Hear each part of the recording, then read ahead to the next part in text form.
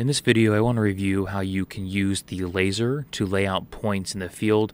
I've noticed that this was a complication for me at the beginning because I wasn't sure the correct button pushes or the process to make sure to get it to work. And I'm going to show you two ways that you can use the laser to lay out. And the first way is if you have heights turned off. And the second way is when heights are turned on. And I'll show you both. So what I have here on the screen, as you can see, I have completed a gridline stationing.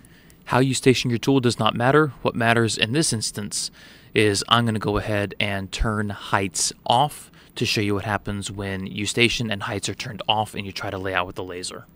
So here I go to general settings, turn the state the heights off, and let's go forward.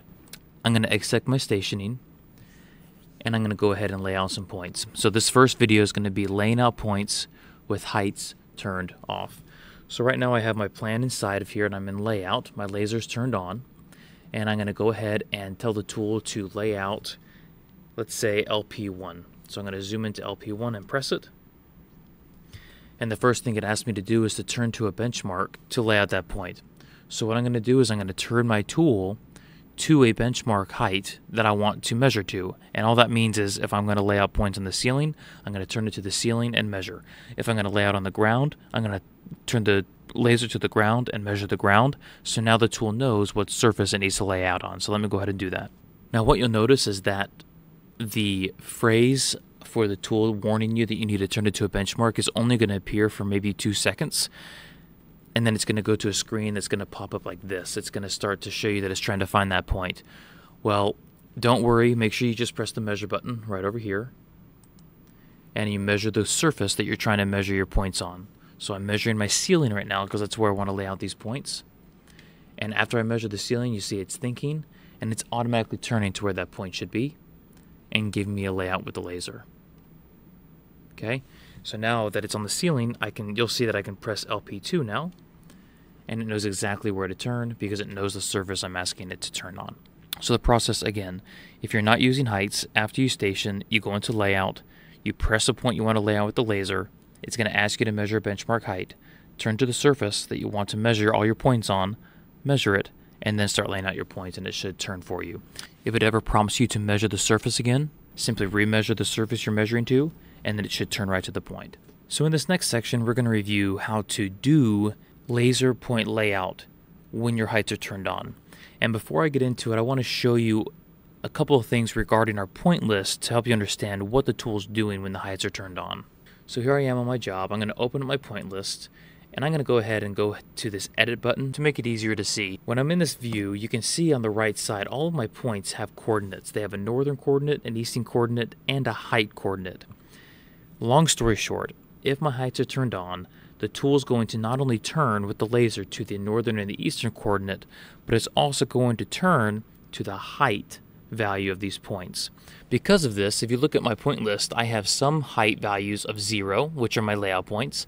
I have some measured points that have a height value of 3 eighths, another one with, with a 16th of a height value, and then I have a station point down here that has a height value of 5 feet 2 and 9 sixteenths. So, theoretically, if I was to lay out these points and I ask the tool to turn to those points, it's going to not only find the northern and the eastern coordinate, but it's also going to be turning to the correct height value of those points. And the height value is going to be based on whatever height value I decided to measure in when I stationed, which I'm going to show you in a moment. Okay, so let's get to it. Let me start by making some new points here. I'm in point creation. I'm going to just put some points on these walls here. I'm going to press check, and I think these points are going to be numbered 4, 5, 6, and 7. Let me open up my point list and show you that 4, 5, 6, and 7 on a 2D CAD plan are coming up with a zero height. And I'll be honest, 99 times out of 100, if you have a CAD plan and you're putting points on them, the height value of those points are going to be zero. The only time they won't be is if you have a more complicated CAD plan in your in your file, and it's three dimensional or something like that, where the the CAD entities themselves are all different height values. But 99 times out of 100, it's going to be zero, and you you can always open up your point list and check to see what height value they're coming in at if you need to. Now, next step is I'm going to station again, and this time when I go to the height section, I'm going to put in a benchmark height. So let me get stationed. So I've just completed stationing, and now I'm going to go to my settings gear. I'm going to turn my heights on. And now it says height value is not set. So if I press check mark, it's going to warn me to set the station height before I go on. And in the stationing, it's right here. I'm going to set my station height. And in this screen, there's another video about how to do all this, but I'm going to keep it basic. I'm going to set my manual height and tell the tool where my zero value is. Essentially, as you can understand now, where I want to lay out my points, where I want to lay out those zero value points that you saw my point list. And for me, I want to put this on the ceiling. So I'm going to go ahead and turn my tool to the ceiling and measure it as the zero benchmark height. I will press measure. And now I'll press check. And you can see that the tool is showing that it's below the ceiling and the ceiling is being recognized as zero. So when I press check and I go into layout and I want to lay out one of these points, I'll lay out point 0.5 it's going to turn to the point and it's not asking me for that benchmark height measurement because it now knows where zero is and it turns straight there and it's able to give me my measurement. Now I'll go to point four.